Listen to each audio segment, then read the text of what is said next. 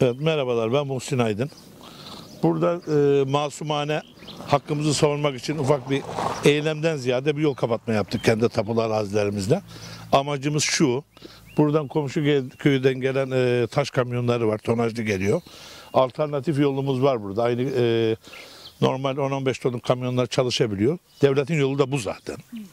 Ama bu yoldan sadece tonajlı büyük kamyonlar inemiyor. Zaten buradan gelen büyük tonajlı kamyonlar da bizim uğraştığımız taş ocağı. Taş ocağını buradan geçirmek istemediğimiz için bu yolu bunun için kestik. Ha, bu arada da e, e, Kaymakam Bey'in de şu anda yaptığı eylem şu. 3091'i işleterek taş e, ocağından çalışan kamyonları çalıştırmak için bu yolu aşmaya çalışıyor. Biz de elimizden geldiği kadar direneceğiz. Burada 50-60 tane müşterekiz, istekeriz. Yani Allah devlet bu malı bizim büyüklerimize vermiş. Büyüklerimizden de bize devroldu. Biz malımıza sahip çıkacağız. Bütün yasal haklarımızı kullanmayı düşünüyoruz. Bu e, bizim burada e, Keş Deresi denen ve Kavaklara inen bir deremiz var. Bu dere boyunca maden yolu var.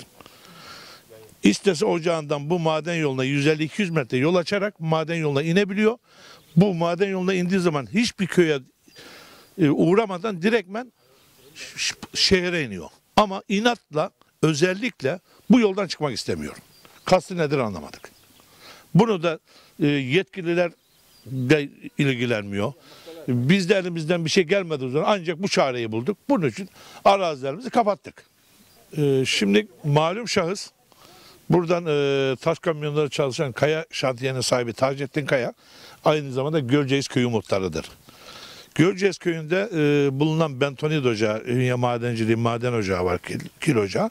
Oradan kil ocağının arabalarını geçirmemek için devletin kadastrolu yoluna hendek açarak 25 günden beri bir aya yakın zamandır adamın kamyonları çalışamıyor. Artı aynı burayı iki defa açan kaymakam oraya da bir defa jandarma göndermedi. Bunu da anlamadık biz.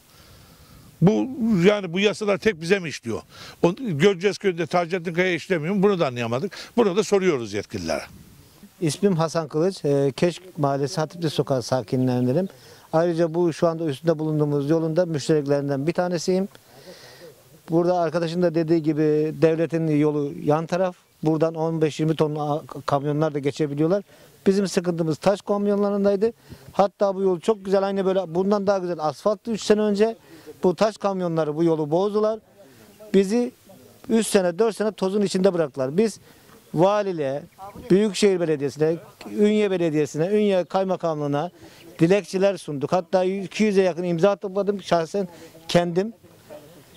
Ne kaymakamlık, ne valilik, ne büyükşehir hiç kimse bizi ciddiye almadı. Doğru düz yolu da sulattırmadılar. Yolu da da geçen yıl yaptılar. Bakın şu yolun haline yine bozuldu yollar. Çünkü adamlar mesai saatinden sonra taş ocağının kamyonları burada yüksek tonajda geçiyorlar. Burada meyveleri de kuruttular. Affedersiniz insanları da kuruttular. Çünkü hep zarar verdiler. Biz de dilekçemizde taş ocağının çalışmasını istiyorduk. İnsanlar e, istihdam sağlıyor diye. Ama ve lakin insanlar sulamadılar taş ocağı sahip çıkmadı yola. Yani biz o yüzden mahalle halk olarak aramızda yolu kapatma kararı aldık. Artı şunu da belirtmek istiyorum.